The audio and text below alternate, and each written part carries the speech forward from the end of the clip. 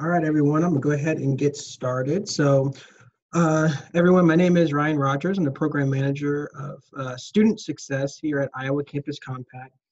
So I'm gonna go over uh, just kind of an overall supervisor orientation to the Campus Compact AmeriCorps program.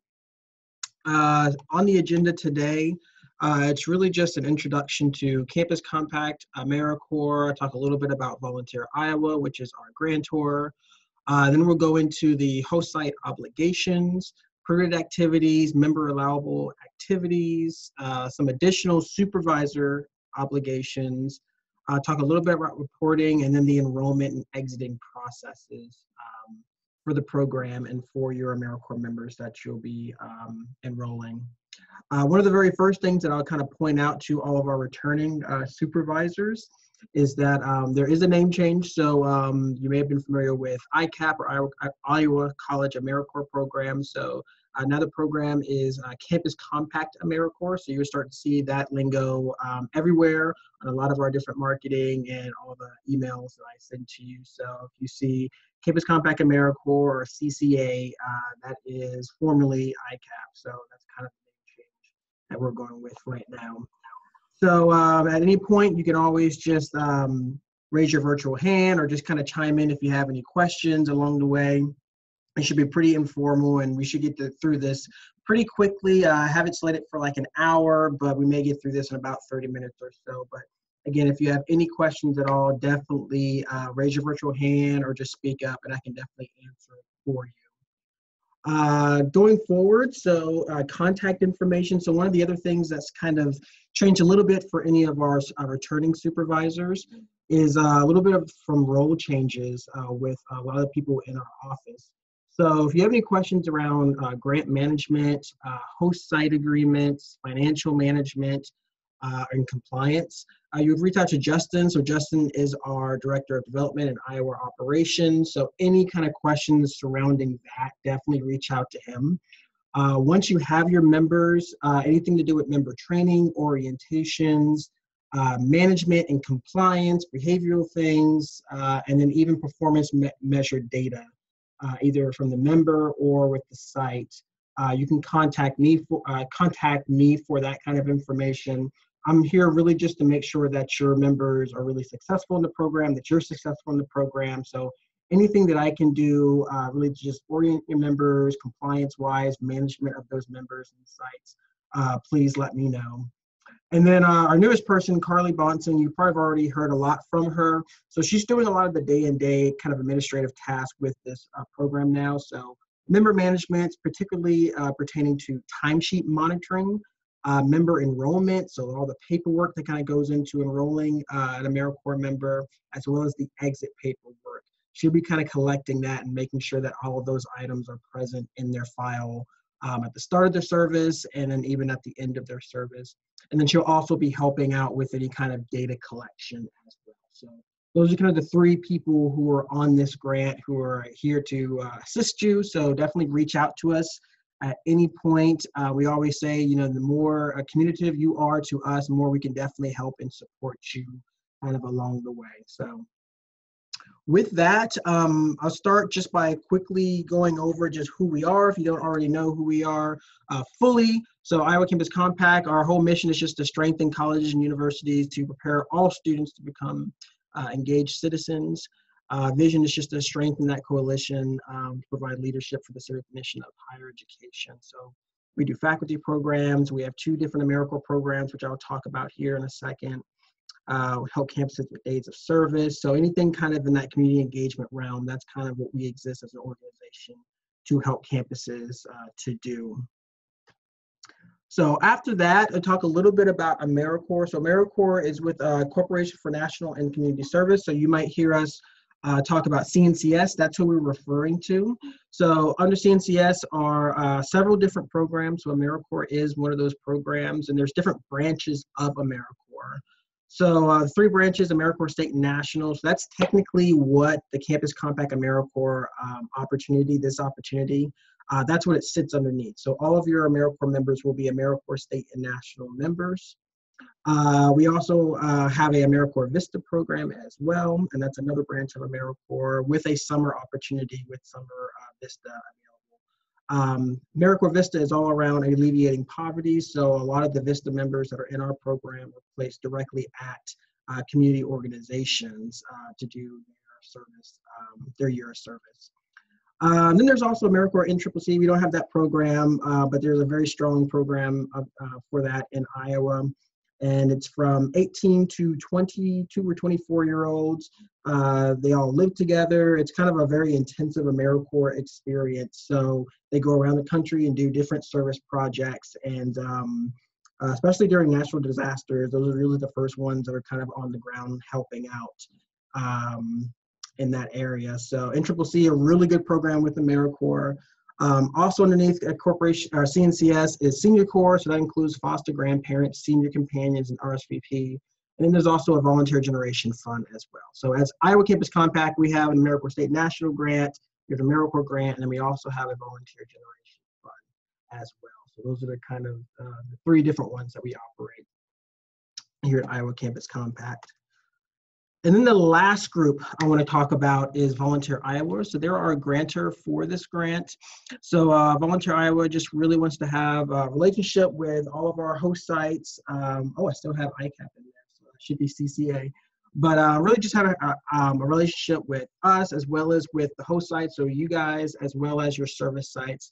So at certain points during uh, the year, they might reach out to you. They like to do different evaluations, member surveys, uh, they usually do a supervisor online email focus group as well. So uh, definitely, if they reach out to you, it would definitely help us out a lot if you just respond to that, uh, have your members respond to the surveys that they send out. It really helps us uh, with our grant and our grant planning for the future as well. So those are kind of the introduction to three kind of uh, big players and big groups to really talk about in the beginning. Are any questions so far? I know it's a lot of information right now, but are there any questions? Not seeing any, which is a good sign. So I will go forward here. So what separates uh, an AmeriCorps position from a volunteer position? So hopefully as you're developing your position descriptions, and we have a template that's available that you'll be filling out what the duties that the AmeriCorps member will be doing. It's really structured so that it's a project-based um, uh, they're very project based. So all the activities are really structured like that. So making sure those duties are project based, uh, members must meet the minimum requirements uh, for the program to receive the financial benefit. So that's that education award. So depending on what kind of member that you have, you may have a 300 hour member, a 900 or a 1700 hour member. Uh, they have to complete all of those hours to receive that education award at the very end of their service. Uh, and the duties are tied to uh, federal statute, so making sure that um, it's really the federal statute for non-duplication and non-displacement of uh, current employees or volunteers, and I'll talk a little bit more about that a little bit later. But just making sure they're not duplicating any efforts or displacing any other person that's currently at a site uh, that they are serving at during their time. Uh, another thing I want to kind of go over is our theory of change. So I won't go over this entire uh, kind of block here, but I always direct supervisors, uh, especially new supervisors, to the uh, last block there, just our long-term uh, outcome. So uh, our whole goal is just for organizations to improve their capacity to provide better and uh, more direct services to the communities and or to just uh, receive better and direct services to the benefit beneficiaries uh, that they are serving. So that's a whole point to the program.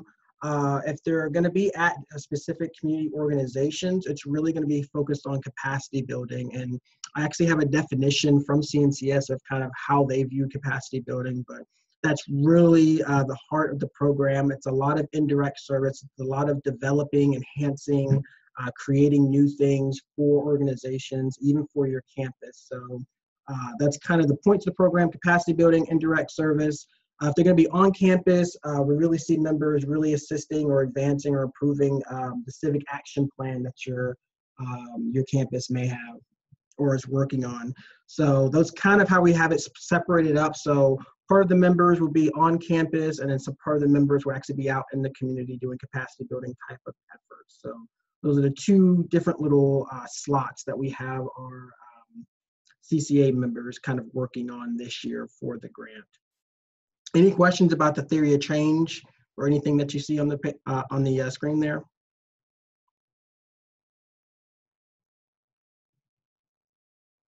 Nope. All right. So host site obligations.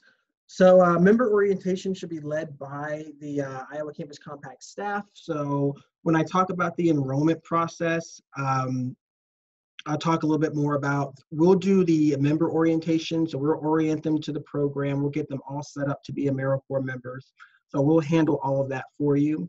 Uh, assisting uh, IAC in conducting site visits for service sites. So if you will have members that are going to be placed out in the community at different uh, community organizations, uh, I would really love during some point in the year to actually do a site visit to those sites be able to just sit down with them, see what the AmeriCorps member is doing, see what kind of things are happening there, and just kind of uh, record that and maybe even snap some pictures as well. We have a quick question here. Where you share the capacity building definition when you have a chance Absolutely, Kira. Yeah. So I actually have the definition in this uh, PowerPoint here uh, in the next few slides or so. But yeah, I'll definitely share that with you as well. Um, so yeah, so if you have um, members that are going to be out in the community, um, at some point I'll reach out to you to see if I can set up a site visit with some of those service sites, just so it, uh, we can introduce ourselves um, to each other and then talk a little bit about what the member is doing at that site. So we, we would like to have a little bit more of a uh, uh, relationship with those service sites just to make sure that um, the member is doing awesome work there, which I'm sure that they're doing, but uh, just kind of capture that a little better for this year. Uh, placement sites are public organizations, not solely uh, focused on advocacy and lobbying or any other prohibited activities. So next few slides, I'll talk about the prohibited activities and um, just making sure that we're just kind of following that template of uh, what's an allowable site for an AmeriCorps member. Uh, release members from service uh, for the Civic Action Academy. So that's something that um, should have been mentioned in your host site agreement. So uh, all members are required to go to the Civic Action Academy. So that's going to be at uh, University of North, uh, North Iowa. Sorry, I don't think I'm in Florida. And um, it's going to be November 8th and the 9th. So that's a Friday and a Saturday. So that is a requirement. So just releasing them from service if they're happen to be on your uh, campus uh, doing time, uh, doing your service, then um, just releasing them to be able to attend that academy. And what it is, it's just a big training, a student leadership and civic engagement type of uh, conference. many of the sessions are student led, but we have some um, community engagement professionals there leading uh, sessions as well. So just releasing them to be able to attend that. Um, they can attend just one day or, you know, just a Friday or a Saturday. We encourage them to attend both days to that. Um, their registration is waived, so we cover the registration costs. And uh, we do have some funding for travel as well. So we can either tra- um, reimburse the member themselves, or if you bring down, you know, a, a whole uh, van load of them, uh, to the event, uh, we can actually reimburse your office as well. So that is a requirement for this year. If for whatever reason a member can't actually make this, uh, definitely reach out to us so that we can uh, figure out some other ways for them to get some of those trainings um, as a part of their service. And then the very last one is just member performance issues are communicated with us uh, in a timely manner. So if anything happens or anything comes up with your member, uh, something happens with the site or just anything comes up that may affect uh, the members' uh, performance or their ability to successfully exit the program, just letting us know as soon as possible. And then just some other uh, benefits uh, for host sites. So we'll facilitate the member orientations, member trainings, uh, for returning supervisors, that's actually been lessened a little bit. So uh, in the past, there used to be required trainings on community engagement, um, uh, effective communication, a national disaster, um, as well as volunteer uh, management. All of those requirements are no longer um, required. So Volunteer um, Iowa kind of uh, got rid of all of those. So really the only required trainings that they uh, need to complete are the timekeeping training as well as using your education award. And both of those will actually be taken care of during the orientation or towards the end of their service. I will actually provide those to the members. So really any other type of training that they receive, they still need to take record of. So you'll still have a, um, a training certification form and that's how we capture all the different trainings or professional development that they um, claim on their timesheets. Um, we still need a record of any other training because they can still count those trainings towards their three, 300 hours or 1700 hours of service. So whatever I requirement that they uh, have, but they have been lessened. Uh, monitoring of member timesheets. So Carly will primarily be focused on monitoring timesheets. So making sure that uh, they're not recording hours like on holidays unless it's already been specified and we know about it or um, there's no excessive hours in there. There are some limits to uh, how many hours you can put on your timesheets. And I'll go over that specifically during the timekeeping training on Friday. Um, and I'll go over kind of all the different stipulations with uh, what can go on a timesheet, what can't go onto a timesheet. And then the review of member position descriptions. So I talk about this a little bit later as well, but uh, just reviewing those, we will review those position descriptions just to make sure that uh, there's no prohibited activities happening um, and making sure everything is allowable on there as well. And then just additional just recruitment support, uh, consultation. So um, if you need some training, so I can always come onto a campus and do some type of a uh, leadership, a leadership uh, training for your AmeriCorps members, civic engagement training. Uh, we do that all the time. General consultation, outreach, and then just financial benefits. Uh, some of you are actually receiving uh, personnel funding because of this grant. So that's something new that we are doing this year. Um, so paying, uh, helping to fund part of a staff person's time at your campus to be able to uh, administer this program. So that's something that we're really excited about. And uh, we have a few of you who've actually taken um, advantage of that opportunity. We hope to offer that again for next year. And then Civic Action Academy travel support for uh, CCA members. So again, their registration is waived for that, and we have some travel support for those members to actually attend. So um, it is a requirement, so definitely let us know if there's any reason that a member uh, cannot um, come to that uh, training. Any questions about the uh, host site obligations overall?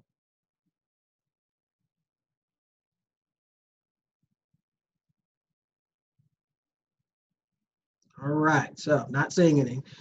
So prohibited activities. So um, all of these prohibited activities are uh, in your host site agreement. So uh, I won't go over them too much here. Uh, I'll really go over just the big ones that we normally see on campuses. I go over these with the member at the orientation as well, just to make sure that they are aware of it. Another requirement that we have for this year is that um, uh, many, many of you already know that uh, the AmeriCorps uh, poster or some kind of um, promotional uh, sticker or something needs to be present at the host site, kind of notifying people that there's an AmeriCorps member serving here. So that was always been a requirement. Another requirement this year is that these prohibited activities have to be posted at your host site as well. So it has to be posted at your campus. We'll actually take care of that. So we actually developed a poster that will just need to be um, posted somewhere um, in your office or somewhere in the vicinity uh, just so that the AmeriCorps member, everyone knows what the permitted activities of um, their AmeriCorps service is. Uh, so we'll provide those to you uh, when I uh, go out to your campuses and do the uh, pre-service orientations for your members. I can bring uh, those for you. But some of the big ones, as a lot of you may know, so the AmeriCorps member can't count any of their hours towards advocacy, lobbying, engaging in any political partisan activities, uh, they can't engage in any religious instruction, worship services, Bible studies. Uh, they can absolutely uh, do their service at a at a faith-based organization. They just can't count their hours towards any of those um, type of activities. Uh, they can't count their hours or um, be placed at any business that's organized for profit, organize any uh, voter registration drives, be a part of any voter registration drives, or any organization providing abortion services or referrals at all. So those are kind of the big ones that we've seen over the last few years that really pertain uh, to you all. So we'll look over the position descriptions. That's really one of the main things that we're looking over, um, trying to find in those position descriptions is just if any of these things are actually occurring. And that's when we'll send back edits to you just to uh, try to figure out another way for the member to uh, serve uh, during that time. Uh, but again, these are all in your host site agreement, and then we'll send you a poster uh, or a little sheet uh, that you can actually post that has all of these kind of outlined as well. Uh, some other things to think about with this. So an AmeriCorps member, they can't, uh, any of the uh, community volunteers that they may recruit for a specific project that they're doing, they also can't do any of these prohibited activities.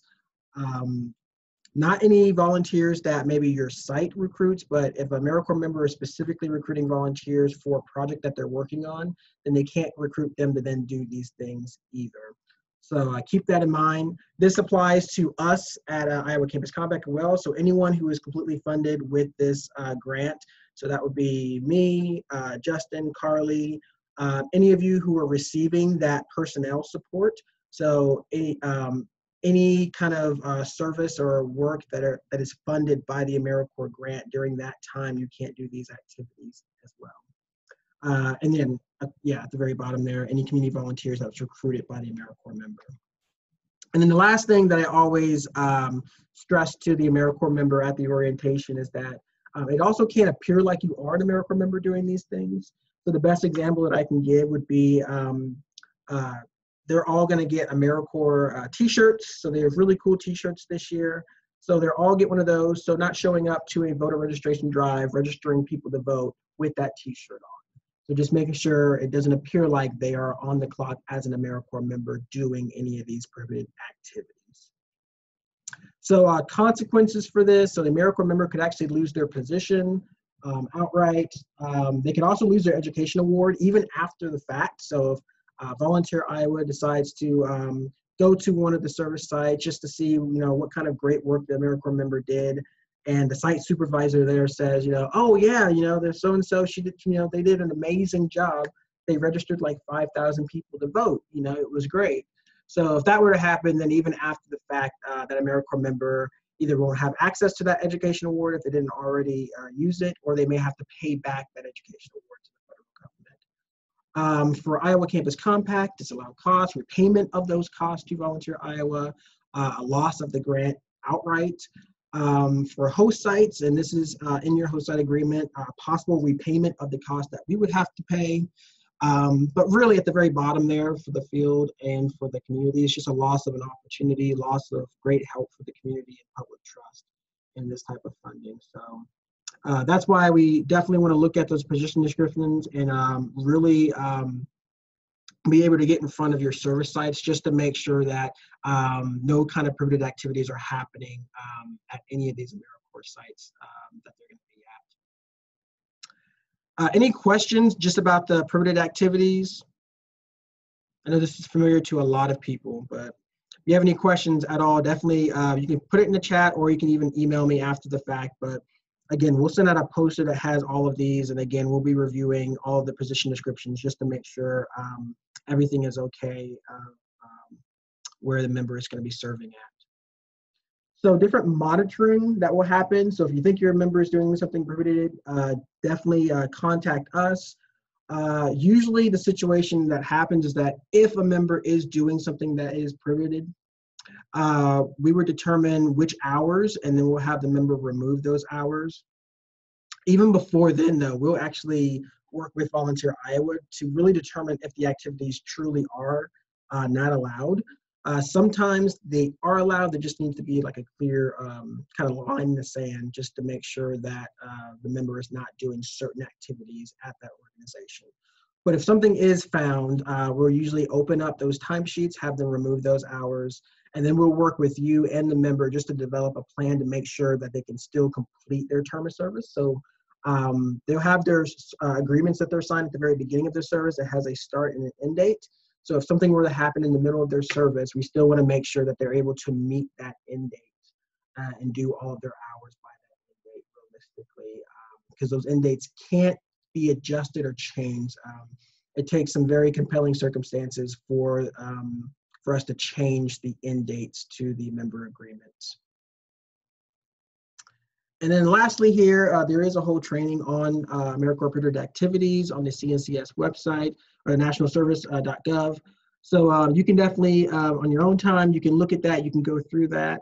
Um, some site supervisors even have, uh, especially if you have a full-time member, have the full-time members go through this.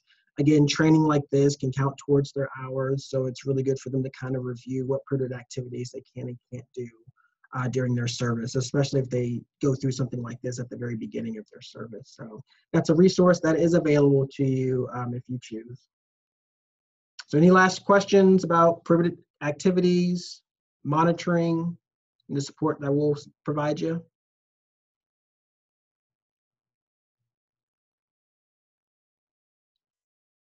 Okay, so I'm not seeing anything.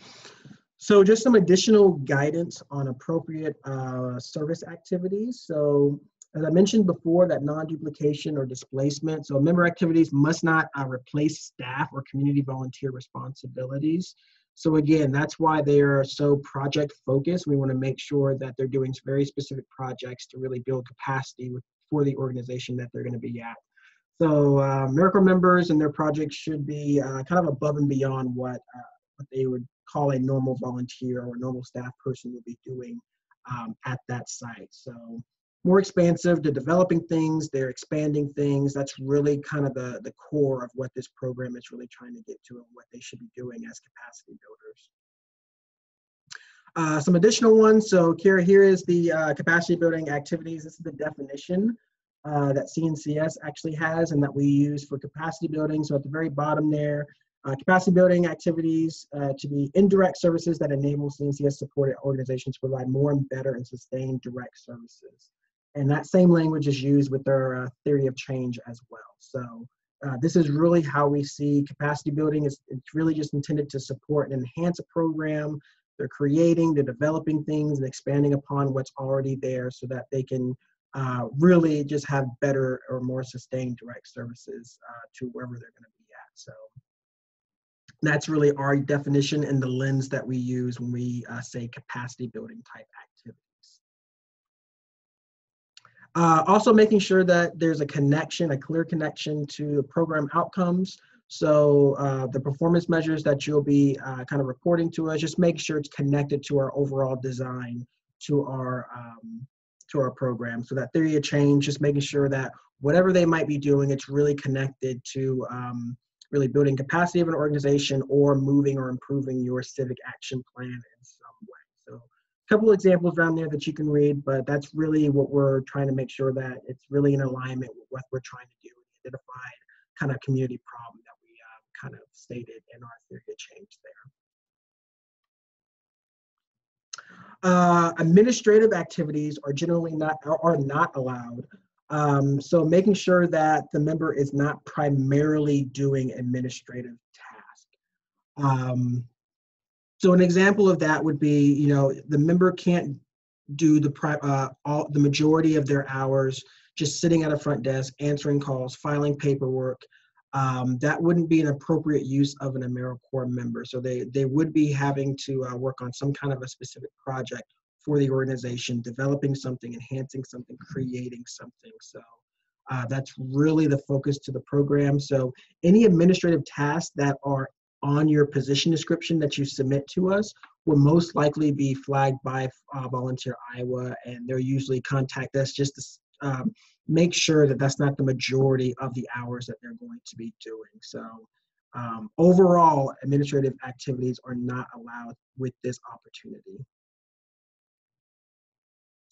Uh, another one that's generally not allowed is fundraising. So um, I'll be honest, when I do the orientation with AmeriCorps members, uh, I usually scare them in this category because um, most of the time fundraising is not allowed.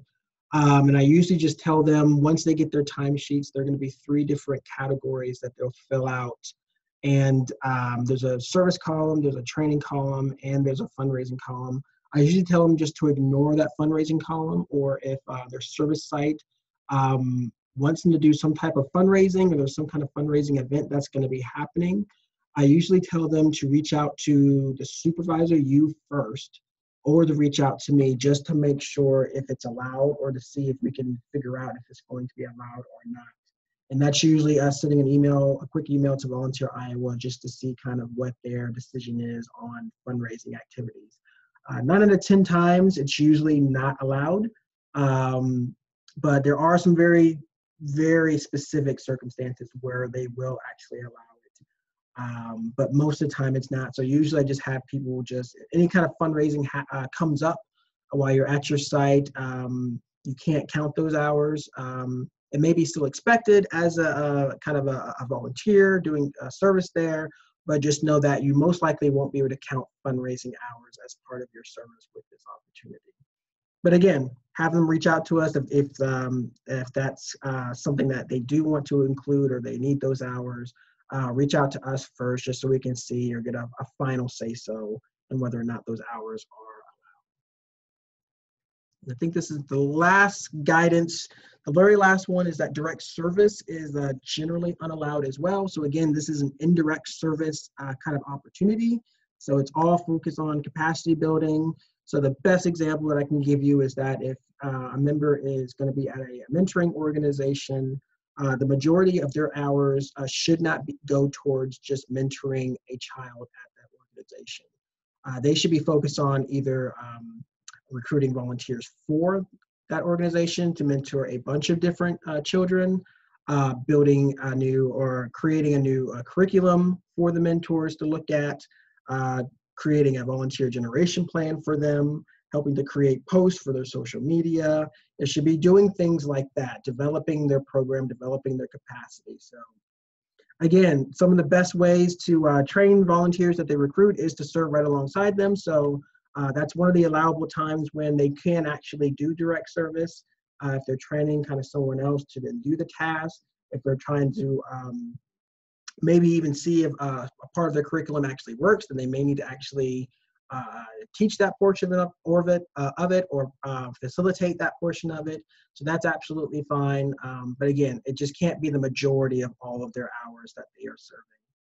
Uh, the other two kind of situations where it's allowed is if it's an organization-wide event that's happening, so like a day of service, and that's absolutely fine. Or there's any type of uh, emergency, uh, county emergency, state emergency, or anything like that, then they are allowed to actually do direct service during those times. So that's all the different guidance. So service activities, uh, fundraising, um, administrative activities, non-duplication, those are all the kind of the guidance that we can provide for you uh, for that. So are there any questions about just general guidance?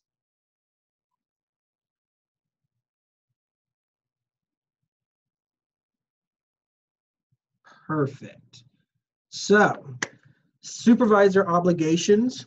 So uh, reporting, uh, reports are submitted on established deadlines. So on the next slide that I have for you here are all the different reporting dates. They can also be found on your host site agreement um, assisting us in completing uh, the member enrollment forms. So once you have your members, the first step is usually having them complete the background check forms. Uh, we'll send those to you and make those available to you. They actually will be available on our website as well, and I'll give you the link once I uh, send this recording to everyone um, in the next couple of days here. Um, but yeah, helping us to actually get those forms back because we need to complete those background checks before they can actually begin their service. So just helping us in that process. Uh, helping us to complete any fingerprint cards. So at the pre-service orientation that I have with your members, um, I will actually fingerprint them in person. But uh, this is really for if maybe you recruit a member in the middle of the year and it wouldn't make that much sense for me to just drive up there to do one orientation for one person. So for those, I usually just do kind of an online orientation, much like this, with the member. Um, but then I would send you some cards to um, have them fill out, and then they would just need to go down uh, to wherever, get fingerprinted, and then send those back to me. So just helping us in that intake process for some of those forms uh, if need be. Uh, remember timesheet monitoring and approval. So uh, really uh, monitoring and approving the timesheets. So you'll have access to the same timekeeping system, where, and that's where you'll actually approve all of their time that they are serving. So just making sure that you're uh, checking those uh, before you approve those with us. So uh, making sure that you know, you know, if they accidentally put hours on uh, Christmas Day, Thanksgiving, and it was just kind of a typo, just kind of checking that first. Because uh, once they submit it to you, you always can kind of correct it and send it back to them, or send it back to them for them to correct before you ultimately approve it into the system. Um, if it's already approved in the system, it's a little bit longer of a process, and uh, we have to reach out to Volunteer Iowa to kind of get it unlocked. So just helping us kind of monitor those timesheets um, before they are actually approved. And then just communicating with Volunteer Iowa as needed. So in the middle of the year, uh, they usually do online focus groups with members and with site supervisors. So just uh, helping out our program, helping out our grant, uh, just by responding to those requests from Volunteer Iowa. So here's a screen with uh, all the different reporting.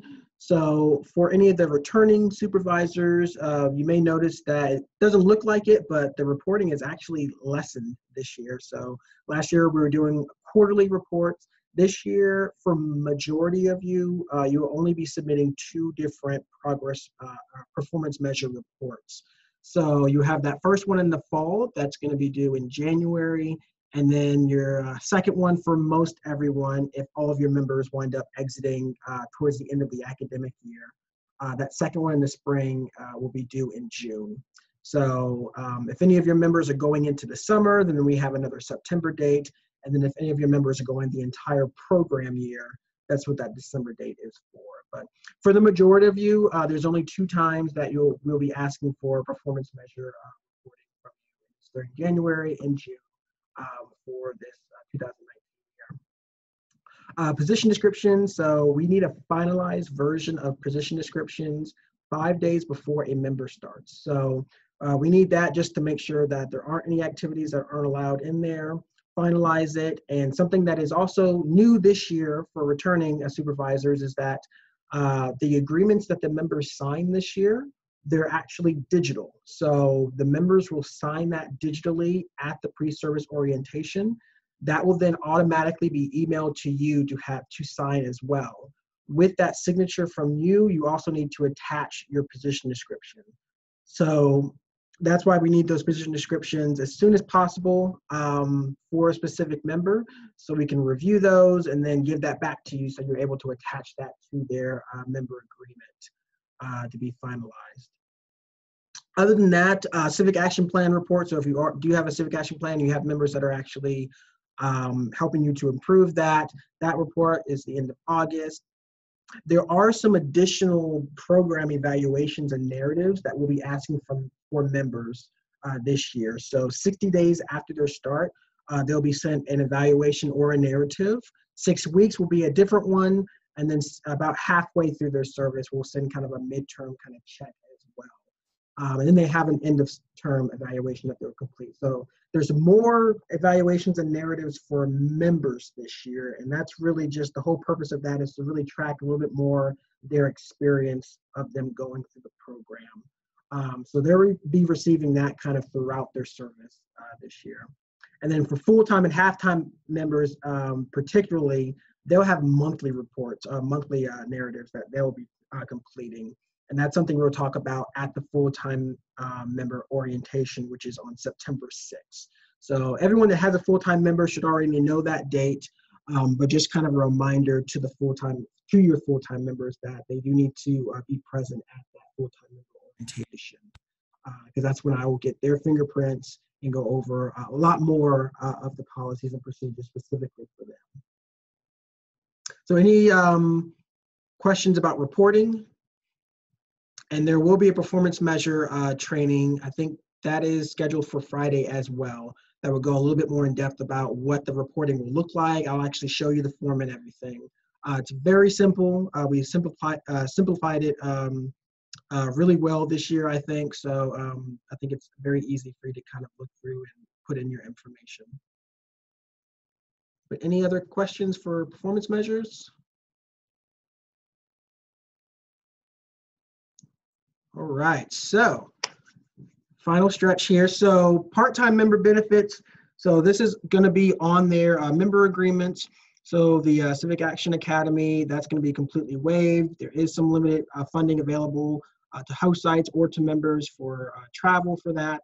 Additional professional development and networking opportunities. So just because there isn't those um, training requirements, we still will have a lot of professional development available for your members to take advantage of. So we'll definitely be sending out those opportunities to them throughout the year.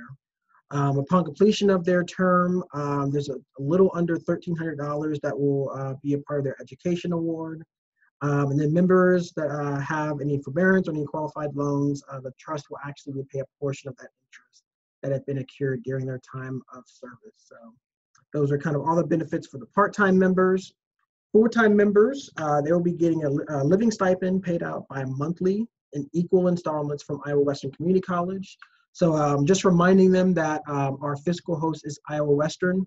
Uh, sometimes we usually always get questions from full-time members wondering um, why they have to do HR um, paperwork or um, any other type of paperwork from Iowa Western Community College. Just reminding them that's our fiscal host. Um, that will total a little over $15,000 over 11 months. Uh, full health insurance and coverage through Iowa Western if they choose it. Uh, they will have a pot of $1,000 for professional development. So any conferences, um, webinars, anything that um, professional development that they want to use that money towards, that's what it's there for. So please have them use that. So if there's a really uh, interesting civic engagement uh, conference happening uh, somewhere across the country or student leadership, something that involves something, some project that they're going to be working on, then uh, that's really what that funding is there for them for. Uh, civic Action Academy is completely waived as well additional professional development activities. Their education award is a little over 6,000 for their service. Uh, forbearance still uh, kind of applies to them. And then there are some child care benefits um, that are contingent on certain uh, uh, income thresholds. So um, definitely uh, go to that website or reach out to us to see if maybe they qualify if they need any kind of child care benefits during their service. So the enrollment process, so I will actually go out and do a pre-service orientation, usually one week before the member is wanting to start their service. So before then, we'll usually send you background check paperwork. We do a uh, national sex offender check on them, a state check, as well as an FBI heightened check. Um, that paperwork will get that started as well. So we'll need that either the day of uh, the pre-service orientation or before then. If you give it to us before then, it would actually help out tremendously with kind of uh, the paperwork and making sure all those checks are ran at the appropriate times. Um, position description, so we just need that finalized version of that five days before a member can start, just so we can review that and give it back to you to attach to their um, member agreements. And then at the actual uh, pre-service orientation, I'll go over the program policies and procedures with them. They will actually complete their member agreement. So they're put in their start and their um, we'll work out their start and their end date. I'll put that in there actually last. So after you receive uh, the document to sign, I'll actually put in their start and end date uh, because of the very last point here. So I'll also help them set up their My AmeriCorps account um, and verify their account. Um, that ultimately determines their start date in the program. So that's something that uh, for returning supervisors, um, that rule still kind of carries over into this year. So there's an additional citizenship test as well as a social security number check that My AmeriCorps does to all incoming members. Both of those need to be verified before I can hit the button to start them in the program. So that's why that My AmeriCorps um, verification is so important. So uh, we will send that out to them before the actual pre-service orientation if we know who the person is. Um, and then at the orientation, we'll have them right then and there actually um, uh, and, uh, respond to that invite so that the verification process can actually start. But uh, just kind of a heads up for that, that ultimately kind of determines their start date in the program. So we'll try our best to make sure that they can start a week um, out from the pre-service orientation, but sometimes it may take a little bit longer uh, to do. So we have one question you know, some AmeriCorps VISTAs can hold a part-time job. What options, if any, do full-time members through uh, CCA have? Um, for this program, they can have outside um, employment. That's fine. They just need to complete all of their hours. So as long as it doesn't interfere with them completing their um, hours of service or their service site, um, it's completely fine. Um, it really just, to me, what I always tell them at their orientation is that um, we just need to see that you've completed 300 hours and that appears on your timesheet and none of it's. Uh, none of it is not allowed. As long as I see 300 hours, then that's absolutely fine. So even on their timesheets, I tell them you don't need to tell us when you're taking vacation leave. Um, that's something you work out with your site. Um, we just need to see that you've done so many hours. So um, that's the only thing that they'll put in their timesheet is the hours they actually do. If they didn't do any hours that week or anything like that, vacation or there's a holiday, you don't need to put anything in those timesheets. It's just the hours that they actually do. So yeah, we've had members who have other jobs as well, just as long as they're able to complete um, their hour requirement. Um, other than that, um, timesheet tutorials, so I'll actually show them um, the timesheet uh, system. So we use OnCorps reports and I'll actually activate their accounts as well. So that's kind of everything that I go over with them at the pre-service orientation, um, which again is one week prior to their proposed start um, with your program or at your campus. And then going to the exit process here, um, the paperwork is really simple. So they'll have an end of term evaluation. Uh, you as a supervisor will have an evaluation. Uh, that's a really important document because that's how we actually, um, uh, we, we need that document to exit them fully from the program. There's a question in there that determines whether or not they can do AmeriCorps again in the future. So that's really the main thing that we're looking for with uh, the evaluation from you. Uh, so you can actually complete that prior to them exiting the program. So if maybe a week out, you know, all of your members are about to exit, you can actually send us their evaluation uh, just so we can get that process started. Uh, My AmeriCorps will actually send them a National Trust exit form as well in the system. Um, we can see when they completed it, we just can't resend it to them. Um, but it really does help them out with some demographic thing if they complete that exit form. Um, and then all the evaluations and narratives are in their file. So just making sure that they uh, have completed all those evaluations uh, that we send to them. And then uh, that member training certification form that captures all the trainings that they do. So um, just any time that they put down that they did a training in their timesheets, we just need a uh, explanation of that on that uh, training certification form. And it's a really simple form. It's just they need to state what the training was, who provided it, on what date. That's really all we need to uh, see for that. So other than that, early uh, exit from the program. So are, there are some ways uh, that members may uh, exit the uh, program early. So um, if there's any compelling circumstances that are out of the member's hands, uh, they can exit early with part of their education award. So if there's a death in the family, um, for any reason, you know, legal reason, legal uh, reasons. They have to um, not stay at your uh, institution or stay in the, uh, the city that you're in. So anything that's out of the control of the member, um, there are ways that she uh, they can exit early uh, for compelling circumstances and receive part of their award. Uh, full time, they can get a full education award um, and exit early. We just need something written from you and the service site that they're going to be at just saying that they completed their hours and it's okay for them to um, exit the program. I think uh, what we just want to make sure is that uh, they're going to have a start and end date. So making sure that sites aren't expecting them to stay all the way to that end date and they just cut out once they hit 300 hours and they're just kind of out. We don't want to leave um, organizations uh, in that predicament if maybe they're um, really expecting them to be there the entire length of their service term. And we always encourage people to serve uh, more than just the uh, minimum hours that we uh, tell them. So more than just the 300 hours, more than just the 900 or 1700 hours.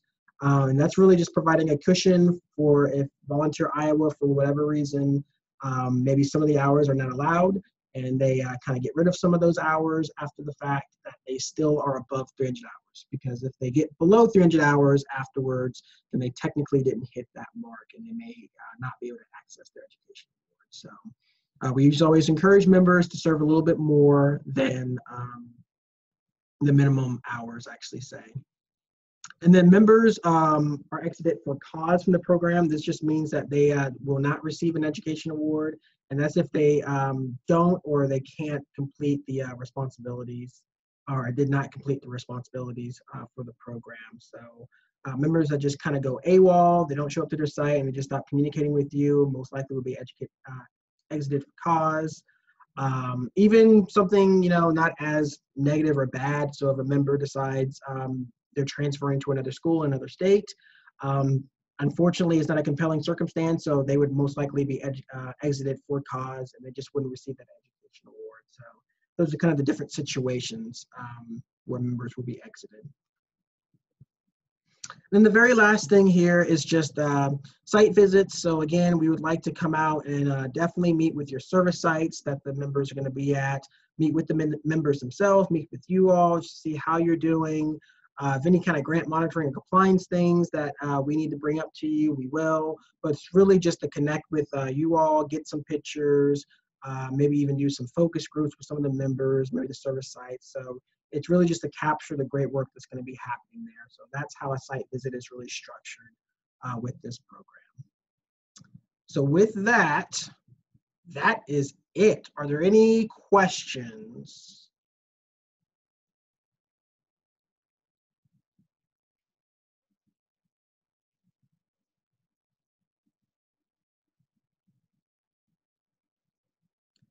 And I'm not seeing any right now. So again, uh, all of these trainings are going to be sent out to you um, after the fact, so you always have access to them to kind of look back on and um, kind of uh, if you need some additional information or uh, want to review some information, they will be available to you and we'll send any document that we're kind of referring to in any of these slides that will be made available to you as well. So, one question that's coming through. I'm not seeing the full question. Oh, here we go. Okay, yep, that's fine, Ann. But yeah, if there's no other questions, um, the only last thing that I'll give you is that um, here are all of our contact information again. So again, any questions about grant management, host-site agreements, financial stuff, it's Justin. Member training, member success, just compliance, management, reach out to me. And then anything to do with timesheets or enrollment paperwork, uh, Carly is your person. So uh, that is all that I have here. If you're a new um, site supervisor, um, that's all I have for you. Uh, you have a good rest of your day. If you are returning one, I already sent this information out to you. But um, here's also the slide that kind of shows all the differences between last year and this year and all of that that I uh, kind of already went over with you. If you have any questions about any of this, definitely reach out to me. But this is kind of a, a quicker snapshot uh, for the returning supervisors of uh, the big differences from the program from last year to this year. So again, if you have any questions, definitely reach out to me. But uh, thank you guys so much. You guys have a good rest of your day.